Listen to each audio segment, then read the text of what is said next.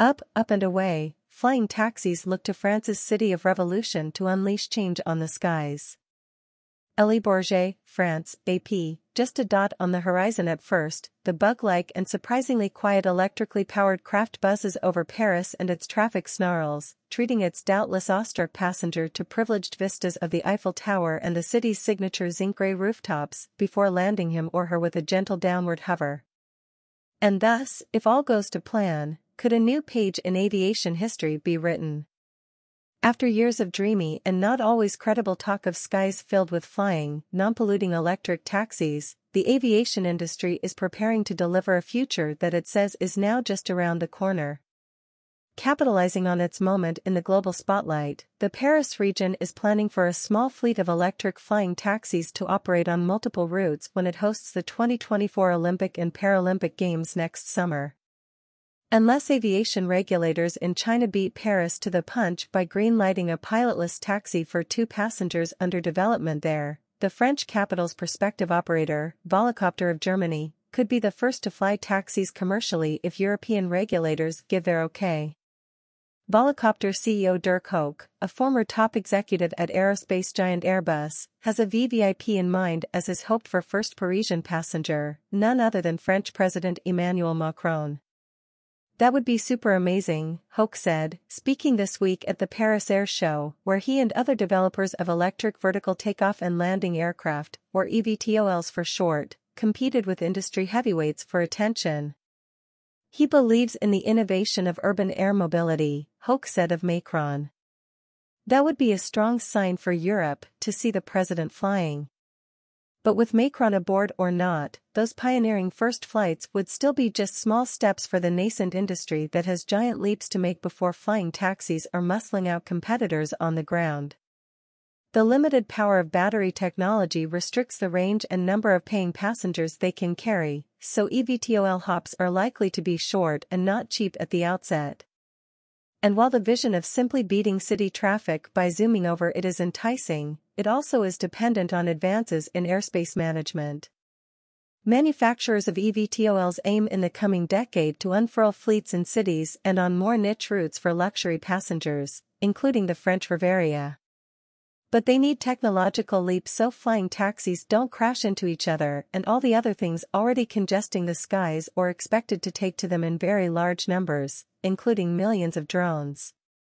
Starting first on existing helicopter routes, We'll continue to scale up using AI, using machine learning to make sure that our airspace can handle it, said Billy Nolan of Archer Aviation Incorporated. It aims to start flying between downtown Manhattan and Newark's Liberty Airport in 2025. That's normally a one-hour train or old-fashioned taxi ride that Archer says its sleek, electric four-passenger prototype could cover in under 10 minutes. Nolan was formerly acting head of the Federal Aviation Administration, the U.S. regulator that during his time at the agency was already working with NASA on technology to safely separate flying taxis. Just as Paris is using its Olympic Games to test flying taxis, Nolan said the 2028 Los Angeles Olympics offer another target for the industry to aim for and show that it can fly passengers in growing numbers safely, cleanly and affordably. We'll have hundreds, if not thousands, of EVTOLs by the time you get to 2028, he said in an interview with the Associated Press at the Paris show.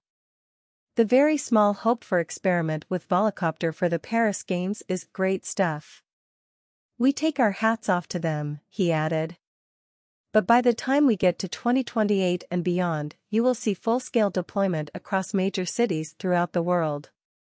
Yet even on the cusp of what the industry portrays as a revolutionary new era kicking off in the city that spawned the French Revolution of 1789, some aviation analysts aren't buying into visions of eVTOLs becoming readily affordable, ubiquitous and convenient alternatives to ride-hailing in the not-too-distant future. And even among eVTOL developers who bullishly talked up their industry's prospects at the Paris show, some predicted that rivals will run dry of funding before they bring prototypes to market. Morgan Stanley analysts estimate the industry could be worth $1 trillion by 2040 and $9 trillion by 2050 with advances in battery and propulsion technology. Almost all of that will come after 2035, analysts say, because of the difficulty of getting new aircraft certified by US and European regulators. The idea of mass urban transit remains a charming fantasy of the 1950s, said Richard Aboulafia of Aerodynamic Advisory, an aerospace consultancy. The real problem is still that mere mortals like you and I don't get routine or exclusive access to $4 million vehicles. You and I can take air taxis right now. It's called a helicopter. Still, electric taxis taking to Paris skies as Olympians are going faster, higher and stronger could have the power to surprise, pleasantly so, Volocopter hopes. One of the five planned Olympic routes would land in the heart of the city on a floating platform on the spruced-up River Seine. Developers point out that ride-hailing apps and e-scooters also used to strike many customers as outlandish. And as with those technologies, some are betting that early adopters of flying taxis will prompt others to try them, too. It will be a total new experience for the people, said Hoke, Volocopter's CEO. But 20 years later someone looks back at what changed based on that and then they call it a revolution.